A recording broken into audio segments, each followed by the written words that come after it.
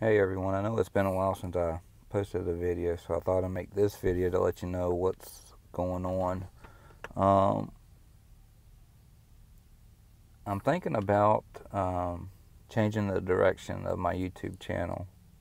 Um, hunting itself is is pretty easy. It's um, all you gotta do is go in the woods, find a spot and sit.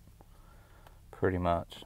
Um, so the way I'm thinking about taking my channel, the direction that I'm thinking about going is to a prepper slash uh, survivalist channel. Um, go over some gear and uh, things of that nature of what you need if a shit hit the fan situation scenario happens what do you need? Uh, that kind of thing. Uh, let me know what you guys think down in the comments. And uh, yeah, thanks.